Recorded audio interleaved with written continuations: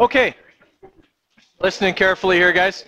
Um, so we have we have this uh, object that's thrown up in the air. Okay, and we talked a little bit about what this would look like on a graph the other day. We had that curve that kind of flattened at the top and then accelerated back down, kind of looked kind of like a hairpin. Okay, uh, came back down. So this is that exact situation. Okay, we know it's going to be in the air for six and a half seconds. Okay, its final velocity is 2.4 meters per second down, so it changes direction. Okay, during its flight. Okay, and that obviously it's accelerating due to gravity at 9.81 meters per second squared. So we got to write down our givens here. Okay, VI is unknown. It's what we're being asked to solve for. VF is going to be negative 2.4 meters per second. I'm establishing that down is the negative direction, up is the positive direction. Okay, our acceleration also negative, 9.81 meters per second squared.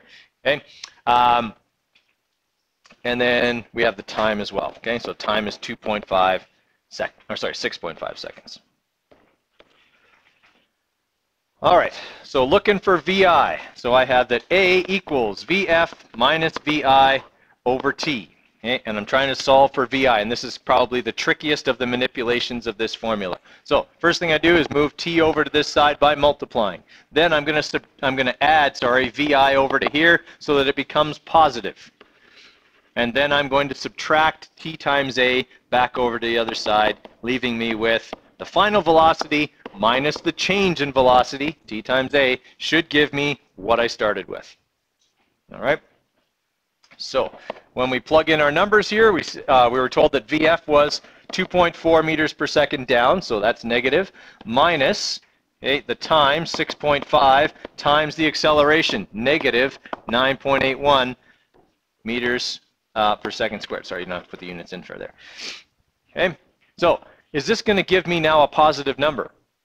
Yes, and should it? Yes, I initially threw this thing up. That's why including the signs is so important. I've got a negative number here, but now I'm going to subtract a negative number, okay, which is going to give me a more positive number, which is what I should end up with. All right, so negative 2.4, whoop, not 2.1, 2.4, okay, minus uh, 6.5 times negative 9.81. All right, so we threw this thing up at 61 meters per second. I think we only have two significant figures there, right? Okay, 9.81 has three, but remember we always go with our lowest or least accurate number. Okay, so we're looking at 61 meters per second up. Right, okay, and we talked about this yesterday, I think, a little bit as well, in that the question gave me up and down. It didn't give me positive and negative. So my final answer should reflect what the question gave me. I don't want to write positive here. Okay, the question said up and down. I go with up and down. All right, questions on how that one works? Okay, like I said yesterday, that's about as involved as a question would get for you in terms of an acceleration problem. Okay. All right, now we're going to do some practice on. Okay, for this question, okay, it starts out and it says the race car reaches the straightaway on the track going this fast. Okay, so if this is this is the start of the question. So this number here is our initial velocity, and that's the thing that sometimes people get confused with with the wording. Okay, so it's going this fast, then it accelerates. Okay, at three and a half meters per second squared for six and a half seconds. What's the car's initial velocity in meters per second? So we got to convert kilometers per hour to meters per second. Okay, everybody follow me there? Yes. Okay, so here's how we do that. Okay, we have to do what's called a compound conversion. It's not like converting kilometers to meters.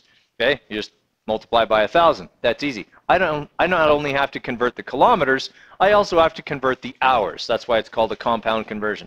Okay, so I'm going to take my 140 kilometers over hours, and I'm going to start multiplying by the the conversion factors that I need. Okay, I want to get rid of kilometers, and I want to make this meters. What do I have to multiply by? A thousand, right? Because there are 1,000 meters per kilometer. Okay, so if I've got a kilometers on the bottom and a kilometers on the top, kilometers cancels. Now I'm going to have meters. So I've converted my kilometers to meters. Now I have to convert my hours into seconds. Okay, so how many seconds in an hour? 60. Everybody wants to say 60. It's our natural instinct. It's our knee-jerk reaction, except it's not. It's 3,600. Okay, because that's just and, and it happens every time I set you guys up for that. Okay, all right. So there's 60 seconds in a minute times 60 minutes in an hour is 3,600. Okay, so in one hour there are 3,600 seconds. How did I know to put the hours on the top? Yeah. Okay. This is going to make I'm going to go less distance in a second, right? I should have the big number on the bottom, right? I'm going to be dividing by 3,600. Okay, so my hours are going to cancel. So what I'm left with now is I'm going to take my 140 and multiply it by 1,000 meters over 3,600 seconds. Can I simplify that? Yes, yes I can. Okay, if I divide both of these numbers by 1,000, I'm essentially left with this.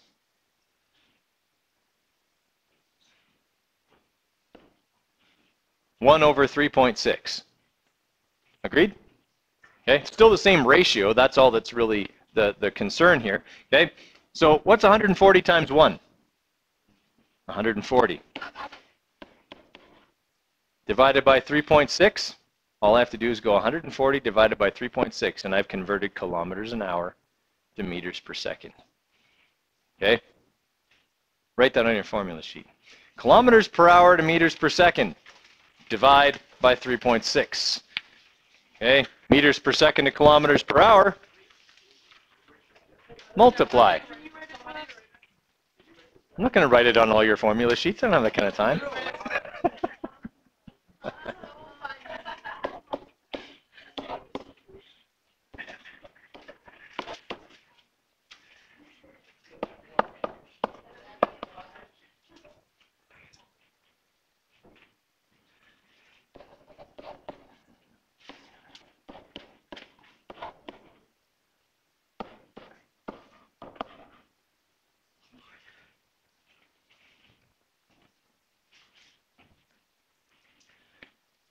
Okay, I do want you to understand why that's why we do that. That's why I showed you the steps there toward getting to that step.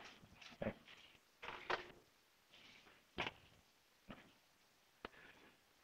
okay, so for part A, we had to take our 140 and convert it to meters per second. So we just went 140, 140 divided by 3.6, okay, and we get 38.9 meters per second. And you know what? I think I have to change the answers on that because I don't think I have the significant figures done on that sheet. So I will have a look at those and make the appropriate changes. Okay. All right. So you guys can do the rest. Okay. Now that you've got that in meters per second, you can do part B. Okay. And you can start working on the others. We'll go through any ones that give you trouble. I have uh, updated on my website at least the key okay, uh, for the worksheet you're working on to have the proper number of significant figures, okay, for every uh, for every one of the questions. Now, a question that usually comes up with number two, okay, um, says that this person drops a water bomb from his apartment window. Okay, so he's like reaching out the apartment window and dropping a water balloon on somebody. Okay, it hits the ground 4, 4.25 seconds later. They give us the acceleration due to gravity. What do they not give us? Okay, actually they do. They just don't actually give you the number. If you hold something out the window and you're going to drop it, how fast is it going? Zero. Anytime something is dropped, released, okay, anything like that, its initial velocity is zero. It's starting from rest. If it's thrown, that's different. Okay, then it would have an either an upwards or a downwards velocity to begin with. But he just drops it, which means it starts from rest in his hand. Okay, so once in a while you're going to come across that, just something to be ready for. Something to note, if you're doing the formula right, but you're not getting the right answer, it's because your calculator does order of operations. It's programmed to do that, right? So it does multiplication and division before it does addition and subtraction. So if you have um, some of the manipulations of this formula, like for example, you have uh, VF minus T times A, okay, um, you should be able to punch that into your calculator and get the right answer. But if you have the original uh, manipulation of this formula like this, your calculator, when you punch this in, okay, you're going to write it like this. So let's just say VF was, uh, let's say VF was 15 and VI was 8, and then I go divided by time, which let's say was 2, your calculator goes 15 minus 8 divided by 2, not 15 minus 8 and then divide that by 2. It does order of operations, which is not going to give you the right answer. Okay, so when you're doing the original manipulation of this formula, you actually have to punch it in, okay, so that it's 15 minus 8 divided by 2. Right? Gives you a much different answer. Everybody follow? Okay, so you do have to be mindful of that. That does happen fairly often. Okay, just know that your calculator is trying to be clever. Okay, and uh, it doesn't always get it right. Or it does, it gets it right, you just didn't tell it the right thing.